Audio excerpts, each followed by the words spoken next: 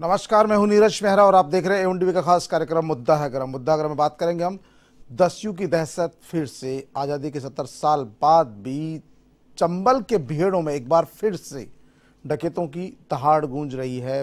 Police प्रशासन और सरकार को चुनौती है और जिस तरह से लगातार एक के बाद एक डकैत सामने आ रहे हैं और कई डकैत तो ऐसे जिनका पुलिस के पास रिकॉर्ड भी नहीं है।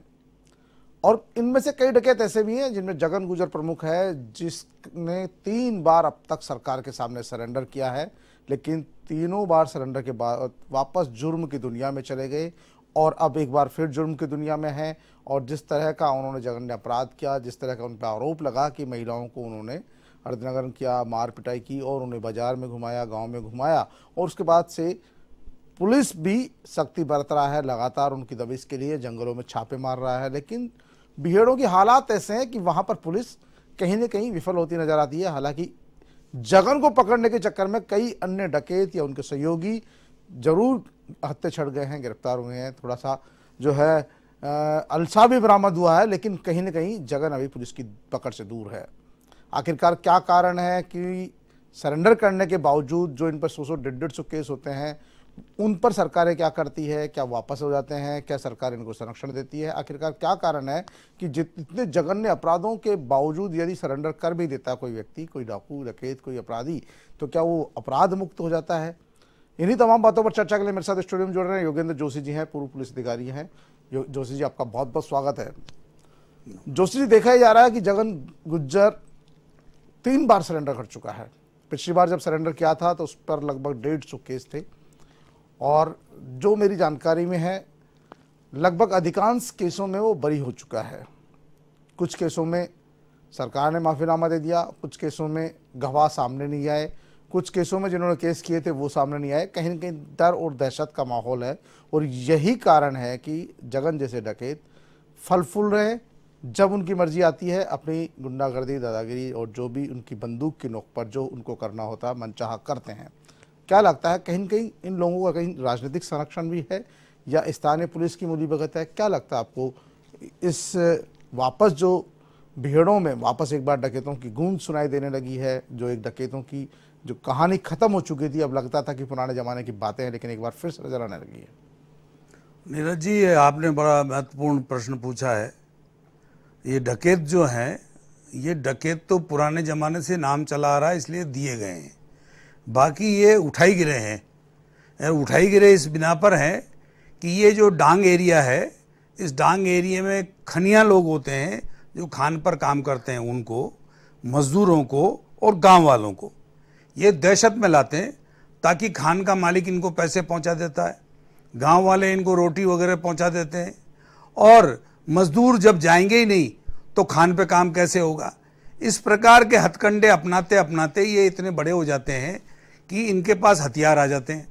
हथियार आ जाते हैं तो फिर ये हथियारों की नुमाइश करते हैं। नुमाइश करके गाँव के अंदर जो है हथियार चलाते हैं और इस प्रकार से दहशत पैदा करके ये अपना इनकम सोर्सेज पैदा करते हैं।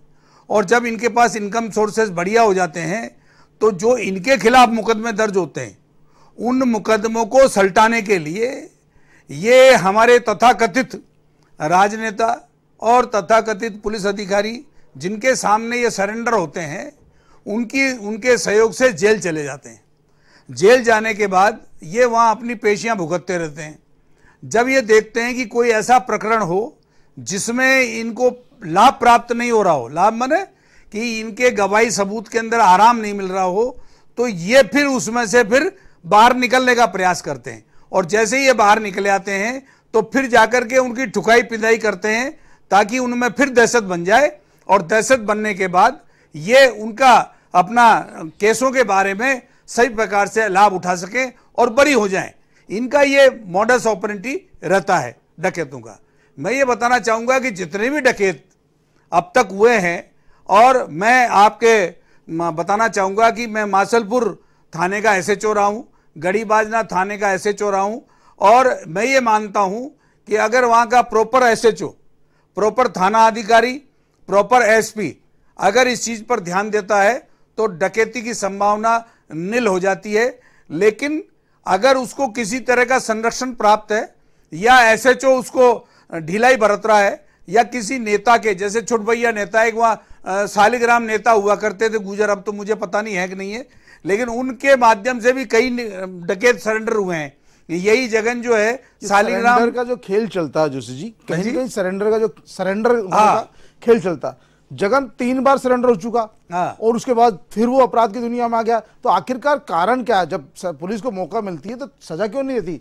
इनको संरक्षण क्यों मिलता है? फिर आखिरकार छूट कैसे जाते हैं अदालत में साक्ष्य चाहिए एविडेंस वो और एविडेंस या तो चोटों का एविडेंस हो जो सरकमस्टांशियल एविडेंस हो या गवाहों का एविडेंस हो ये दोनों के दोनों एविडेंस खत्म हो जाते हैं। जैसे ही ये बाहर आते हैं तो अपना एडजस्टमेंट करके उनको कर लेते हैं। दूसरा, जो नेता इनको सरेंडर करवाते हैं, वो नेता इनके गवाह सबूतों को भी संरक्षण देते हैं। ये क्या करते हैं कि इनके पास हथियार तो रहता है, बहुत बड़ा, आप देखेंगे फ़ोटो में, लगा रखा है, बहुत बड़ा ऑटोमेटिक हथियार है। लेकिन जब सरेंडर होते हैं तो ये बारह बोर की बंदूक पेश कर देते हैं पचफेरा पेश कर देते हैं। और वो नेता जो है, ये मत सोचिए आप कि वो फोकट में करते हैं, वो नेता इनसे पैसा वसूल करते हैं। कि भाई तेरे को करना है मेरा ये मामला है। और ये राजनीतिक लाभ के लिए भी करते होंगे। हैं? राजनीतिक लाभ के लिए भी करते होंगे। अरे राजनीतिक लाभ तो है गाँव के अंदर दहशत पैदा करनी हो बिल्कुल तो ये वहाँ जाकर के धमकाते आपसे चर्चा करेंगे और मुद्दा ग्रह में जैसे हम चर्चा कर रहे हैं दस्यु की दहशत आखिर कब तक पर मुद्दा है? गर्म में चर्चा जारी रहेगी। मेहमान जुड़ गए हमारे साथ। ए के जैन साहब जो हाईकोर्ट में अधिवक्ता है आपका बहुत बहुत स्वागत है। ए के जैन साहब तीन बार सरेंडर कर चुके हैं जगन गुजर इसके बावजूद वो फिर जुर्म की दुनिया में है। आखिरकार सरेंडर करने के बाद क्या डकैतों पर, अपराधियों पर जो मुकदमे दर्ज होते हैं, वो सब समाप्त हो जाते हैं? या आखिरकार क्या कारण है कि सरेंडर करने के बाद फिर वो वापस जुर्म की दुनिया में घुस जाते हैं? क्यों नहीं पुराने मुकदमों में उनके खिलाफ कार्यवाही होती, या फिर कहीं ना कहीं सरकारें उन मुकदमों को वापस ले लेती है? देखिए, कानूनन रूप से गिरफ्तारी करने में और सरेंडर करने में कोई भी फ़र्क नहीं है। चाहे पुलिस बाई फोर्स गिरफ़्तार करे या आदमी खुद जाके सरेंडर करे, वो मुलजिम रहता है। पर क्या है कि बिहाइंड द कर्टेन आपस में समझौता होता है। डेढ़ सौ मुकदमे अगर जगन गुजर के ऊपर थे तो प्रश्न ये कि डेढ़ सौ गुजर्स में से कितनों पे डेढ़ सौ केसेज में से कितनों पे चालान पेश हुआ?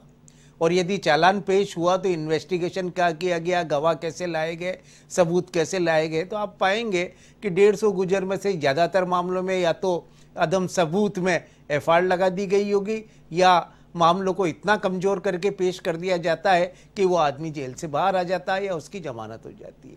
यदि हम नॉर्मल केसेज में देखें तो एक ऑर्डनरी मर्डर केस में, एक डकैती के केस में सालों तक जमानत नहीं होती। और यदि कोई आदमी डेढ़ सौ मुकदमे होते हुए भी मुकदमों को ख़त्म करके बाहर आ रहा है या जमानत पर बाहर आ रहा है तो इसका यही मतलब है कि प्रोसिक्यूशन या पुलिस उससे मिली हुई है और उसकी मदद कर रही है। तो ये बिहाइंड द कर्टेन जो खेल चलता है, वो सारे के सारे गुंडागिर्दी को और इस बदमाशी को पड़ा। यूँ सरेंडर तो भीड़ के अंदर भी हुआ था। जब बड़े बड़े डाकुओं से आचार्य विनोबा भावे ने जयप्रकाश नारायण ने दो बार बड़े सरेंडर करवाए और उनमें से किसी भी डकैत का वापस नहीं सुना कि वो वापस जाके डकैत बन गया हो। कई थे जिन्होंने अपनी लाइफ इम्प्रिजमेंट या 20 साल की ज़िंदगी काटी। सरकार ने अपनी पावर का उपयोग करके उनकी सज़ा को कम किया है या उनको खुली जेल में रखा है। परंतु राजस्थान में जो हो रहा है इससे ऐसा लगता है कि सरेंडर एक नाटक हो रहा है। वहाँ पर ये सब जानते हैं बड़ी बात है योगेंद्र जी। इनका कहना है सरेंडर एक नाटक बनकर रह गया है और जो देखा गया है, जितने लोगों ने भी सरेंडर किया, वो वापस जुर्म की दुनिया में है। अपना अपना फ़ायदा उठाने के लिए वो राजनेताओं के संरक्षण के माध्यम से सरेंडर करते हैं, हीरो बनते हैं, वाहवाही लूटते हैं और जब उनको ज़रूरत पड़ती है, फिर जुर्म डालते हैं और फिर अपराध की दुनिया में प्रवेश कर जाते हैं। आपको लगता है कहीं ना कहीं राजनेताओं का संरक्षण भी इन अपराधियों को मिला हुआ है, जिसकी वजह से ये सरेंडर करते हैं और फिर वापस एक तरह से उनको मुक्ति मिल जाती है कहीं ना कहीं, क्योंकि जो अपराध उनके खिलाफ, जो मुकदमे उनके खिलाफ होते हैं, वो लोग भी डर के मारे, उनके खिलाफ गवाही नहीं देने जाते, कोर्ट में पेश नहीं होते। उनको भी लगता है अब सरेंडर कर दिया है, अब अपनी ज़िंदगी जिएगा। तो कहीं ना कहीं इनसे क्यों लड़ाई दुश्मनी मोल लें? ये बिल्कुल आपने सही कहा है। सरेंडर करने की प्रक्रिया तो आजकल तकमीलन हो गई। पहले जो आपने जैसा बताया था कि पहले विनोबा भावे और इस तरह के लोग थे। अब आप बताइए कि सालिग्राम नेता है वो गुजरों का नेता है, उसने सरेंडर कराया इसको 2001 में। फिर उसके बाद सचिन पायलट जी ने कराया, बताया 2009 में। फिर जिस थाने का मैं एस एच ओ रहा हूँ गढ़ी बाजना उस थाने में मालिनी अग्रवाल आईजी ने सरेंडर कराया है। तो भाई इन लोगों से पूछो दोबारा कि ये जो आपने उस समय सरेंडर कराए थे तो उन लोगों के माध्यम से इसको दोबारा बुलाओ ना, इसको करो अंदर। लेकिन मैं आपको ये बताना चाहूँगा कि ये लोग कुछ नहीं कर सकते। ये लोग उस समय की, इनकी आवश्यकता के अनुसार इन्होंने किया कि भाई ये इस तरह का आदमी इसने सरेंडर का साहब मेरे को सरेंडर करा दो, माफ़ी करो, मैं अब अब अपराध नहीं करूँगा, जेल में चला जाऊँगा। कारण ये है कि दस्यु ये देखता है कि मेरे अपराधों को कैसे मैं ख़त्म करवाऊँगा। हर अपराधी, देखिए, मैंने अच्छी तरह से देखा है। कोई भी गुंडा, बदमाश हो, कैसा भी हो, वो जेल में जाकर के सारे मुकदमे सलटा देता है, गवाहों को धमकवाता है अपने घर वाले सदस्यों को या मिलने जुलने वालों को उसके गवाहों के पास भेजते हैं, जो मैंने आँखों से देखा है, और आकर के उसको अल्टी पल्टी कराते हैं, और कराने के बाद वो उसमें बरी हो जाता है। इसी प्रकार से जिसके पास जितने मुकदमे दर्ज हैं, वो धीरे धीरे इस प्रकार से गवाहों को गवाहों को प्रभावित करके, और वो इन मुकदमों से फ्री हो जाता है। और फिर जब पैसे की कमी पड़ती है तो फिर बाहर आ जाता है। और अब जब इसका, इसकी दशक बैठ जाती है इलाके में तो इलाके के कोई भी सेठ साहूकार हो, कोई भी इस तरह के खनिया हो, किसी के खान हो तो उन लोगों से फिर ये चौथ वसूली करते हैं। फिर ये क्या करते हैं कि भाई अच्छा एक और बताऊँ साहब, इन डकेतों के भी इलाके हैं। एक डकेत का ये इलाका है तो दूसरा डकेत उसमें नहीं आता है। आएगा तो बिना परमिशन के नहीं आएगा, नहीं तो ये आपस में गोली गाली मचाते हैं। तो जिस डकेत का जो इलाका है, उस डकेत की उगाई वही डकेत करता है। और आप देखेंगे कि जब राजनेता को आवश्यकता पड़ती है तो चुनाव के समय में इनको काम में लिया जाता है कि जो वहाँ का जो प्रोमिनेंट फिगर होता है, जो इनके दबाव में नहीं आता, जो वोट इनके नहीं दिलवा सकता तो उस आदमी को ये धमकवाते हैं डकैत से। और धमकाने के बाद में ये अपना स्वार्थ पूर्ति करते हैं। चंद साहब, बिल्कुल कहा सीधा सीधा कहीं ना कहीं धमकाने का काम भी करते हैं, दहशत पैदा करने का काम करते हैं और राजनेताओं के लिए उनको सत्ता तक पहुँचाने का माध्यम भी डकैत बनते हैं। यही कारण है कि डकैत जब सरेंडर करते हैं तो कहीं ना कहीं नेताओं को भी उनसे उम्मीद होती है। पुलिस के आला अफसर ये सोचते हैं कि हमारे खाते में जुड़ गया कि हमने एक बड़े डकैत को सरेंडर करवाया। आपको लगता है सारे मुकदमे इनसे हट जाते हैं? देखिए, मुकदमे कुछ तो हटा दिए जाते हैं और कुछ कमज़ोर कर दिए जाते हैं। अब मान लीजिए कोई राज्य स्तर का नेता किसी को सरेंडर करवा रहा है तो ये तो प्रिजम्पशन है कि वहाँ की जो स्थानीय पुलिस है उन मुकदमों को कमज़ोर करेगी। वहाँ के जो स्थानीय लोग हैं, वो या वही नेता लोग कहेंगे कि जब ये सुधर गया, सरेंडर कर दिया तो कोई अब पुराने झगड़ों को ख़त्म करो, कोई बयान देने के लिए मत आओ। बयान देने के लिए विटनेस प्रोटेक्शन जो होना चाहिए, वो जब आप विटनेस प्रोटेक्शन, विटनेस को देने की बजाय मुलजिम को देंगे, जिसको आपने सरेंडर कराया तो मुकदमों का अंत यही होता है। राजनीति की जहाँ तक की बात है, जो डांग एरिया है, जो बीएड का एरिया है वहाँ सब लोग जानते हैं कि किस तरह का खान माफिया काम करता है।